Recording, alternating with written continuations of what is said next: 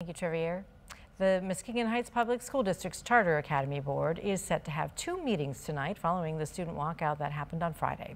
The school sent out a statement saying any student who walked out without a parent's consent must be at the meeting with their parent or guardian today at 4 o'clock. An additional meeting will be held at 6 p.m. to discuss a revised method of selection for members of the Academy Board.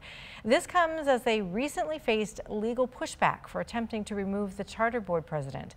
The conflict is due to reported concerns over staffing and curriculum issues since the start of the school year.